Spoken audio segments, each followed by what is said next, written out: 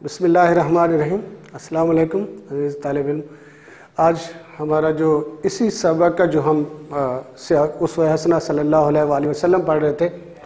तो इसी के आज खुलासे के बारे में बेटा हम आपको बता रहे हैं कि खुलासा कैसे लिखा जाता है, कैसे। पहला लेक्चर जो था, वो उस सबक का खुलासा था, जो हमने आपको बताया है बेटा। आज हम खुलासा लिखने का तरीका हम बता रहे हैं। तो सबसे पहले तो उनवान तो वैसे आपको इम्तिहान में दिया जाता है बेटा, सबक का उनवान। तो उसमें आप जो है वो लिखेंगे, सबक का उनवान फ़र्ज़ किया उसवा हसना सल्लल्लाहु अलैहि वसल्लम है। उसवा हसना सल्लल्लाहु अलैहि वसल्लम। ये फिर मुसन्फ़ का नाम। मुसनफ़ का नाम बेटा, सैयद सुलेमान नदवी। अच्छा ये है बेटा कि सबक का खुलासा जो है इसके नंबरों की तकसीम। एक, जमा नौ, ये दस। दस नंबर का ये खुलासा होता है बेटा। एक नंबर जो है वो मुसन्फ़ के नाम का होता है और नौ नंबर जो होते हैं वो खुलासा के होते हैं। अब खुलासा लिखने का तरीका, सबसे पहले आप यही सबक का उनवान लिखेंगे, फिर मुसन्फ़ का नाम, फिर यहाँ पर यहाँ हेडिंग देंगे बेटा, खुलासा। तो आप खुलासा शुरू करेंगे। नंबर वन बेटा जैसा कि नाम से ज़ाहिर है खुलासा मुख्तर करना होता है बेटा इसको। इख्तसार के साथ इसको लिखना होता है। खुलासा में, यानी सबक का एक तिहाई खुलासा हो। सबक का एक तिहाई खुलासा। ये नंबर वन, इस चीज़ को पेश नज़र रखेंगे। सबक का एक तिहाई खुलासा लिखेंगे।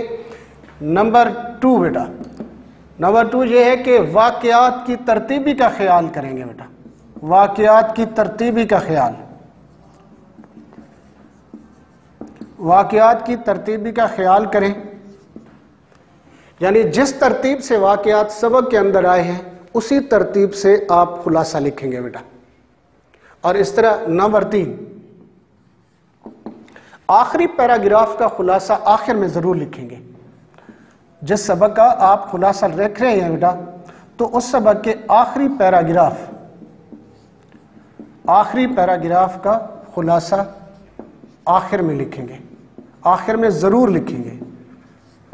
ज़रूर लिखें वरना आपका खुलासा नामुकम्मल तस्वुर होगा बेटा। तो इस तरह खुलासा लिखने का तरतीब और तरीका ये है बेटा। तो दोबारा देखें, सबक उनवान ये हम इम्तहान में वैसे आपको दिया जाता है। फिर मुसनफ़ का नाम लिखेंगे सैद सलेमान नदवी। फिर खुलासा लिखेंगे हेडिंग देंगे और खुलासा लिखते वक्त इन चीज़ों का या इन बातों का ख्याल रखेंगे। एक तो ये कि सबक का एक तिहाई खुलासा हो।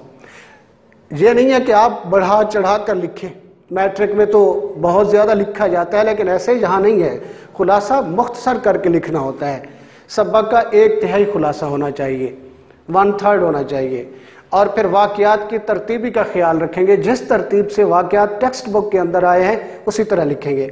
और फिर जिस सबक का आप खुलासा लिख रहे हैं, उसका आखिरी पैराग्राफ का खुलासा आखिर में आप ज़रूर लिखेंगे।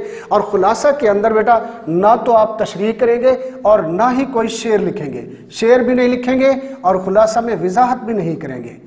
वजाहत भी नहीं करेंगे। तो ये इन चीज़ों का ख्याल रखेंगे। ना तो आप खुलासे में शेर लिखें और ना ही खुलासे के अंदर वजाहत करेंगे।